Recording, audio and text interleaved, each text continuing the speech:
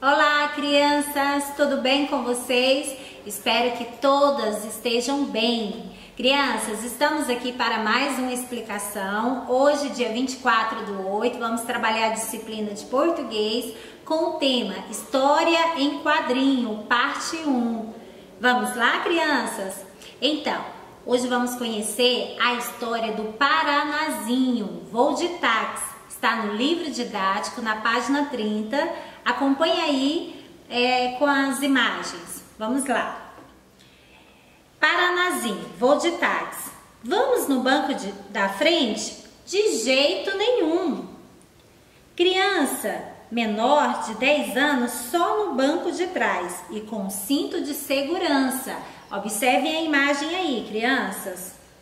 Crianças menores de 4 anos devem usar cadeirinhas apropriadas. Olha a criança na cadeirinha com o cinto e no banco de trás. Vamos agora para a página 30, continuando a nossa história. E nada de ficar em pé entre os bancos dianteiros ou colocar a cabeça ou o braço para fora da janela. Hum, muito bem, crianças. Gostei desse taxista, porque na hora do embarque e desembarque de passageiros, todo motorista deve tomar muito cuidado. Que legal, crianças! Observem a atenção do motorista com o paranazinho. Aproximar o veículo do meio-fio e não parar em fila dupla, para que o passageiro possa embarcar sem sair da calçada.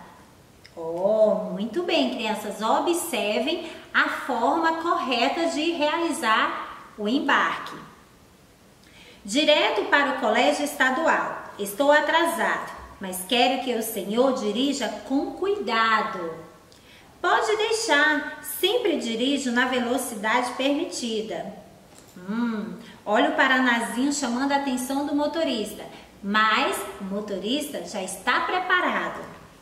Assim o Senhor garante sua segurança e a de seus passageiros também. É isso aí, Paranazinho. Tchuiu, tchuiu. Que será, crianças, esse barulho? Olha, tem, tem um trem chegando. O, olha o trem, Paranazinho.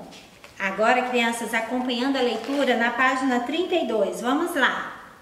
Pedestres, ciclistas e motoristas sempre devem parar antes de cruzar a linha, de, de, a linha férrea. Então tem que ter muita atenção, crianças. Mesmo quando não, não estejam vendo ou ouvindo o trem, crianças não devem brincar nos trilhos. Então tem que ter muita atenção. Crianças, olha essa imagem aí de duas crianças é, atrás desse veículo. Olha que perigo! Imagina se outro carro batesse na traseira. Como criança? Como aquelas crianças iam se machucar?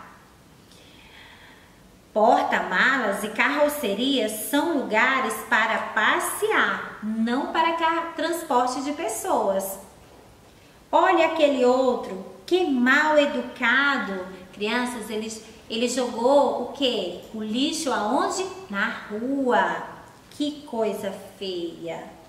Além de agredir o meio ambiente, coisas jogadas para fora do carro podem atrapalhar quem vem logo atrás e causar o quê?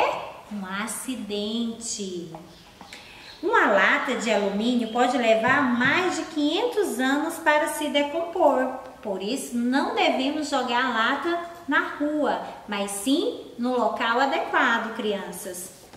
E olha o que, que aconteceu. Olha a surpresa do Paranazinho, crianças.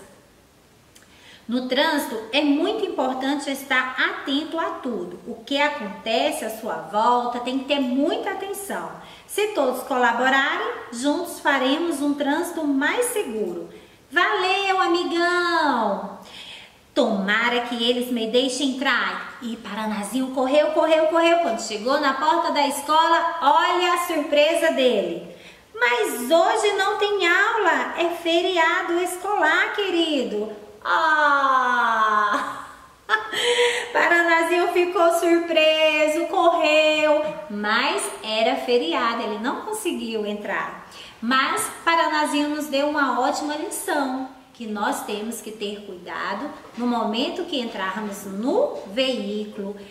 Tem que ter o local correto para embarque de passageiros. As crianças menores é, de 4 anos tem que ter a cadeirinha adequada menor, até 10 anos, tem que ser no banco de trás. Então, crianças, hoje nós aprendemos a responsabilidade ao entrarmos no veículo. Tem que colocar o cinto de segurança.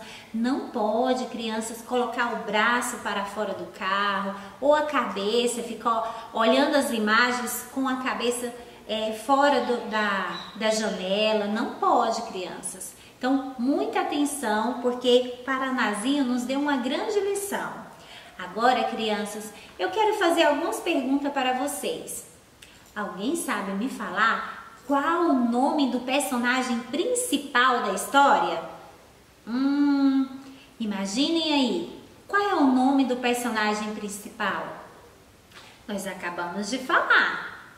Isso mesmo, Paranazinho. Agora, crianças, qual é o meio de transporte utilizado pelo Paranazinho? Imaginem qual é? Isso mesmo, crianças. É um carro, um táxi, certo, crianças? E qual é o estado que se refere ao personagem da história? Hum, crianças, lembrando que para responder essas perguntas ou refletir, você tem que acompanhar toda a história com bastante atenção. Então, qual é o estado, crianças? Isso mesmo, o Paraná. Então, crianças, estejam revisando essa videoaula, observando quais são os pontos que a criança ou adulto tem que ter ao entrar em um veículo. Tem que ter muita atenção. Após vocês assistirem essa videoaula, vocês vão realizar a atividade no livro didático na página 34 e 35, certo? Então, essa foi a nossa aula de hoje. Muito obrigada pela sua presença e até a próxima. Um grande beijo!